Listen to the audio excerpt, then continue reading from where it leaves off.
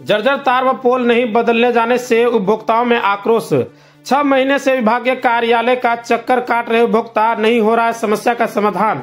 हरलाखी प्रखंड के झिटके पंचायत अंतर्गत पहरा गाँव में जर्जर बिजली की तार व क्षतिग्रस्त पोल से लोग में दहशत का माहौल बना हुआ है। कई बार जर्जर तार से जोरों की चिंगारी निकलती है, जिसको लेकर लोगों में आक्रोश व्याप्त है। स्थानीय मोहम्मद, हिफाजत मोहम्मद एहसान रेन मोहम्मद कलाम हुसैन, मोहम्मद जाहिद, मोहम्मद जाबिद रेन शमशीर मोहम्मद इरशाद आज़म, मोहम्मद समीदुल फर्जी, मोहम्मद मुसीफ गुलशन खातून, मोहम्मद मुर्तजा प्रमोद पासवान, राजीव पासवान, इंदर पासवान सहित दर्जनों आक्रोशित उपभोक्ताओं ने कहा कि करीब छह महीने से बिजली विभाग से लेकर जर्जर तार व क्षतिग्रस्त पोल को बदलने का गुहार किया जा रहा है। विद्युत विभाग के एसडीओ को भी संयुक्त रूप से आवेदन दिया गया है।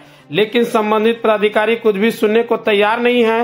विभाग के द्वारा बहाना बनाया जा रहा है। प्रीपेड स्मार्ट मीटर जब लगेगा, तभी समस्या का निदान होगा।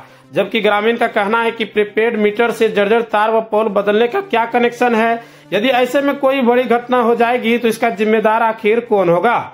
ग्रामीणों ने बताया कि वार्ड एक से चार अंतर्गत स्कूल, तालाब, घरों के इर्द गिर्द जर्जर, बिजली तार का जाल बिछा हुआ है। हालाँकि, हल्की हवा चलने से ही जर्जर तार से चिंगारी निकलने लगता है।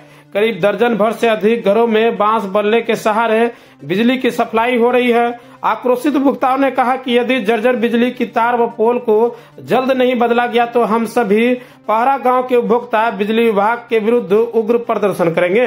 जय सपन कुमार ने बताया कि किसी अन्य पंचायत में काम चल रहा है उसके बाद पहरा गाँव का भी पोल व तार को बदला जाएगा।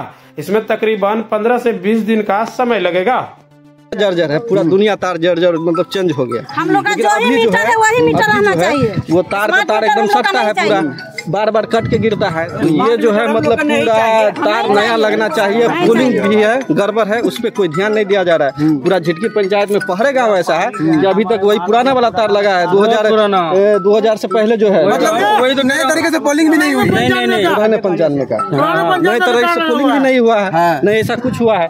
तो मान लीजिए तार जो है वैसे ही के वैसे ही पड़ा हुआ है सब गल गल के गिरता है ऑटोमेटिक रात में जो खाना पर गिर गया था तो तो सुनने में आया स्मार्ट मीटर जबरन ठोकने आता है आप लोग के गाँव में? जबरन ठोकने आता पहले तार सही कर ले भाई साहब मतलब क्योंकि तभी तो ठोकने आएगा वो। सब चीज़ स्मार्ट समझे?